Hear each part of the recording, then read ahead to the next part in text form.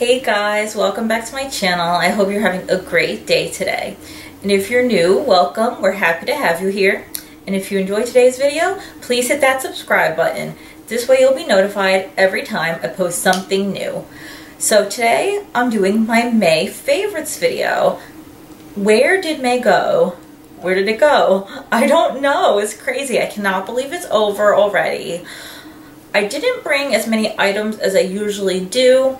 I'm just not feeling that well. I'm having some extra health problems on top of my normal health problems.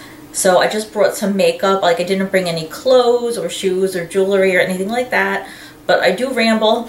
Um, my intention was to make the video a little bit shorter, but who knows if it will be shorter or not because of my rambling. So let's get on into it. So a lot of this stuff has not been shown on my channel before, but there are a few items that have. So let's start off with some things you guys have never seen yet. So now, if you guys, um, if there's anyone out there who struggles with redness on their face or dark circles or just needs brightening under their eyes, this is what I call a dream team right here. These are the Naked Skin color correcting fluids. The green one is for redness and the peach one is for dark circles. And then this is Tarte Shape Tape and this is obviously a concealer because everyone's heard of it 8 million times. And oh my gosh, this really, really has changed me and like helped me out so much the concealer that I had before just was not working for me at all. It was like an e.l.f. kind of like um, cream concealer. Um, there's probably people it does work for, probably if you're younger and just using concealer, concealer to cover up like a blemish. But if you have dark circles and other more major problems, this baby is the queen. I use the shade Fair, which is the lightest shade. Even though I'm super pale, at first I wasn't sure what shade to get. So I asked somebody else, Sarah Smiles actually, who is a YouTuber. I will link her down below. I asked her what she used because I thought we had similar skin color and she said she used Fair. So I took her recommendation I was glad I did because you kind of want it to be like a little lighter than your skin slash foundation color because you want it to like brighten you a tiny bit. So you could use these items with your foundation, which is what I did today, or you can use them on their their own, like if you're not doing your whole face, like say you just want to do concealer and a little bit of makeup, as long as you cover like certain places so it doesn't look all out of whack, you can use these on a non-foundation day. So I think I'll actually do in the future once I get some of these health problems taken care of and I have more time to do videos with um, that take up more editing. I think I'll do like a tutorial on how to do this because I know it really helped me. I know there's probably a lot of people with similar problems. So I know these are can be pricey items, but if you, if you have these problems, they're definitely worth it. And NYX does make color correctors that are similar to these that are a little bit cheaper and they probably work just as good. What happened was I was actually searching for the NYX ones and they weren't coming up and that's because for some odd reason, I found out later on the Ulta site, NYX keeps the colored ones under, they keep them under um, concealer even though they're color correctors. So I don't know why that is. But so you can get the NYX ones if you want to save a little bit of money and not get the Urban Decay. So yeah, these products are amazing and I use them several times a week. So next we'll go on to two palettes that I've been loving. So this I bought in April, but I didn't start using it until May because I wanted to wait until I gave my mom hers because I got her one for Mother's Day. This is the Anastasia Beverly Hills Modern Renaissance. Um, I, I don't need to spend too much time on it because it's like everywhere on YouTube, but these are what the colors do look like if you go to any of the videos from last week where I'm wearing the striped shirt, I actually did do a look with this palette and it was kind of like a light colored look using the first four colors of the top row. and I wasn't sure how that would show up on camera and it actually ended up looking really good on camera so I was really happily surprised about that. The quality of these shadows is really good. Sometimes you do need to tap off your brush because they're that pigmented that there can be a little bit powdery but not powdery in a bad way. They're still like, they're really good and they blend well so it's worth the hype in my opinion. And I could do a video about this in the future if you want me to, but there's just so many. Like if you want to see one right now, you could just Google. Like there's, not Google, you do the YouTube search, there's so many. The next palette is one I was almost not going to get. And then I realized I was letting other people decide for me, which is the Kat Von D Pastel Goth palette. So this is the thing. Some people had a lot of things to say about this. People who I guess are obsessed with pas pastel were saying it wasn't pastel enough. And people who were goth were saying it wasn't goth enough because it didn't have a black. It has all these beautiful spring-like colors, and to me they are pretty pastel. Like, I guess they could be lighter, but then Kat even came out and said by pastel, she means the pastels that you kind of draw with, like the art supply pastel, not as much as the color pastel. Like that's what she was going for. I think still they're beautiful spring and summer colors. They are so buttery and so smooth. And I'm wearing the green on my eyes today. Oh my god, I'm loving the green. And then, what else? I've done looks so far with the pink, the purple, and the blue, which I'll insert some pictures down here of when I wore the blue the, the pink, the pink, the purple, and the blue.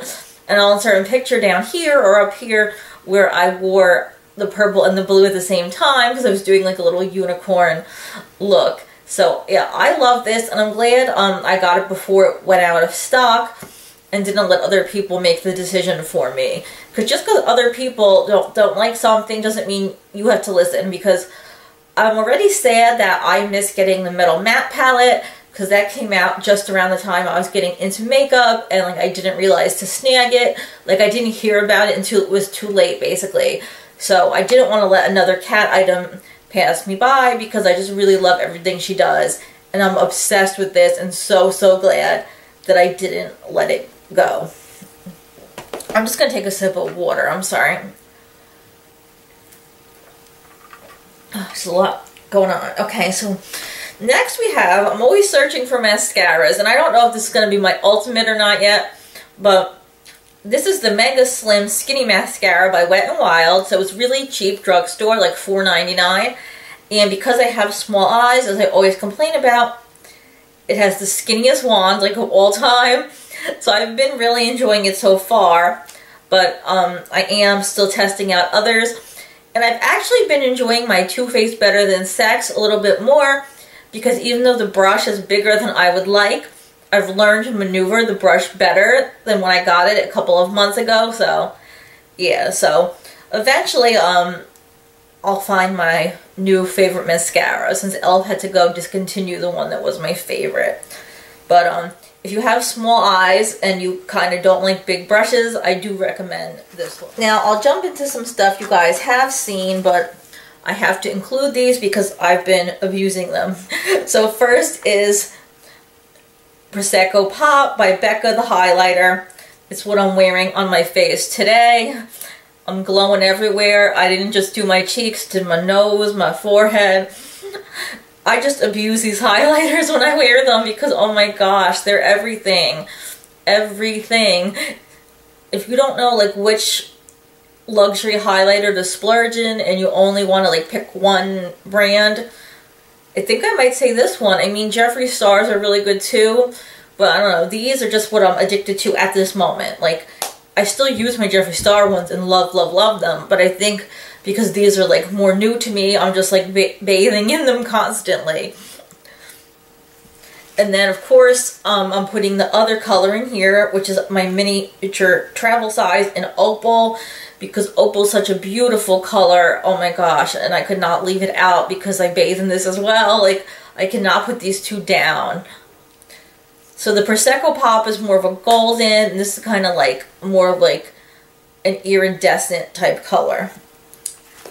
And then I had to include the Hourglass travel size bronzing highlighter because um, it is just so soft and beautiful. And this is something else that I've just been using so consistently. Once you use something so consistently, it's got to make your favorites list because it's that amazing. And again, the quality is really good on this product. So this is actually something I'm really, really loving. Um, I have a closed one here, but I have two that are open right now.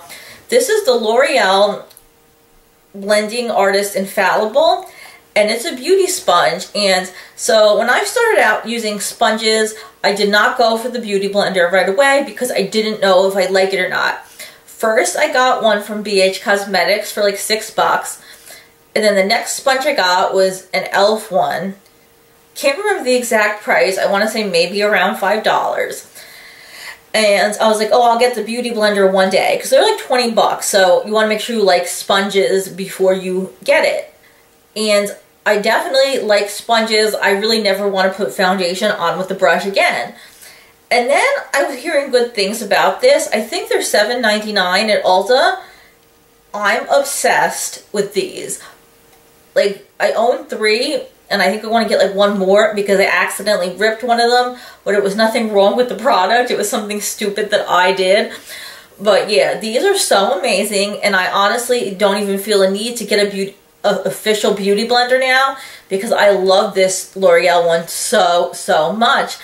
And it's funny, I thought it was like just me, and then I've seen lately a few large um, beauty channels like large as in 20,000 and large as in like a million saying even though they have real beauty blenders, they also really enjoy these L'Oreal ones. So, um, yeah, if you're looking for a new beauty sponge um, and you don't want to spend the 20 bucks, you can get this for seven over. So I actually, this is my first time owning um, this formula. So these are the La Creme lipsticks by Too Faced. So they're a regular lipstick. They're not liquid even though I prefer liquid, um, I do like to own some regular lipsticks. Sorry guys, I gotta take a sip again. Having a lot of problems with like really bad um, dry mouth and dry throat because of the um, health problems I'm experiencing. So I apologize. Um, so yeah, when I got 20% coupon from them recently, I realized Unicorn Tears was back in stock. So I'm like, oh my gosh, I've always wanted Unicorn Tears. So Unicorn Tears looks blue, as you can see. And I'll insert some pictures either up or down. I never know until I edit like where the picture is going to fit, where I have it on. I think I took some pictures in advance last week um, when I had it on of what it looks like alone and then what it looks like as like a topper for another lipstick because when it's alone, it kind of merges with the color of your lips, so it turns kind of like a purpley iridescent if you wear it alone, which is really cool. I would wear it out like that. Like some people wouldn't, but I would. And then if you wear it as a topper for another color, it kind of makes the color look frosted, which is also really, really cool. So I really like this lipstick, and I didn't think it was going to come back in stock anymore, to be honest. I was just like, oh, I didn't get it, oh well. But I saw it back in stock, so I was like, why not? And the, the formula is very comfortable, obviously, because it is like a regular lipstick. It doesn't have the lasting power. You're going to have to reapply it if you're eating and drinking, but that's okay. And then this other one is called Marshmallow Bunny. I love the name and the color. It's just like a really beautiful pink. Great for the spring and summer. And I think I have a photo of me wearing that as well, which I'll put somewhere over here. So yeah, I, oh my gosh, I just love this color as well. And this is the color that um was under the unicorn tears in one of the photos as I wore it alone as well. Just really pretty color. So if you're looking for traditional lipsticks, this formula is really, really comfortable. Um, I like it. Um, and it's an interesting shape for a lipstick, and I kind of like it, how it's long like this, and not just like a stubby tube. I'm actually really obsessed with the lipstick I'm wearing today. I can't really put it in the favorites video yet because like I just got them. So I'm still kind of testing them out, but I feel like I'm not wearing lipstick. And you're probably thinking, girl, that's your Leo lipstick that you wear all the time, but it's actually not. I'll show you what it is. Even though this should not count as a favorite, but it will probably be a favorite next month. I've been obsessed with Dose of Colors for a little while now. Obsessed as in like stalking the brand, watching other people's videos. And I was trying to behave and wait till they went on sale, and they finally did. So I got several colors, including Cork, which is like very similar to Leo, the color that I'm obsessed with. And like I can never have too many brown lipsticks. And I actually got another brown shade from them. I can't remember the name right now. And I got two other non-brown shades. It feels like I'm not wearing anything on my lips. Like this liquid lipstick is amazing. So Dose of Colors is like um, an indie brand, but not indie for much longer because Ulta's going to start carrying it soon, which I guess is good so more people have access to it.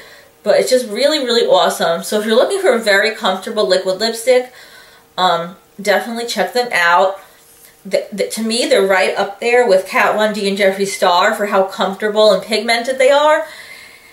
And they go on sale like way more. Like Jeffree Star barely ever goes on sale. Dose of Colors has gone on sale like three times now since like I've been like stalking them.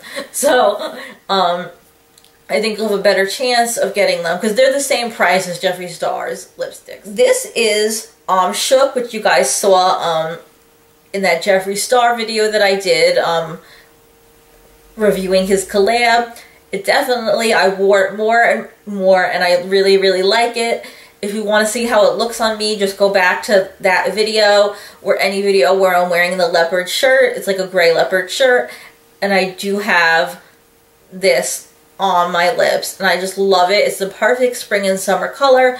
It's like a very unique coral in my opinion. It's like a coral that was deepened with some other tones. And then the final lipstick is something newer to my Kat Von D collection. It's not new to Kat Von D's, D's line, just new to me. It's Lovecraft. It's a very popular color, actually. A lot of people love it. Like, I know Lolita is like the favorite, but this might be like the second favorite. It's just like a very pretty light pink. I actually don't think I have a picture of wearing this, but um, yeah, it's very popular, and I've actually seen a lot of people wearing it on a lot of channels, so I will insert a screenshot close up so you can see it better. But it's a gorgeous, gorgeous color. And again, yeah, this is called um, Lovecraft. And did anyone else take advantage of her Memorial Day promotion? She literally, if you spent a certain amount of money on the site, she gave you three Studded Kiss lipsticks for free. That's $63 worth of lipstick. That's crazy. I was so excited. Oh my gosh. Memorial Day, like, I was really good this month at, like, not buying that much stuff. And then Memorial Day, like, yeah, I just bought everything because they're so good. But, um, that is the end of my favorites. I hope you guys enjoyed this video. Do you like any of the products in this video? Do you own any of them? And let me know what you think of them. And if you don't like these products, then what products do you like this month? Let me know what you're using in the comments. I would love to hear about them. And if you enjoyed the video, please give me a big thumbs up. And I'll see you guys next time. Thank you so much. Bye.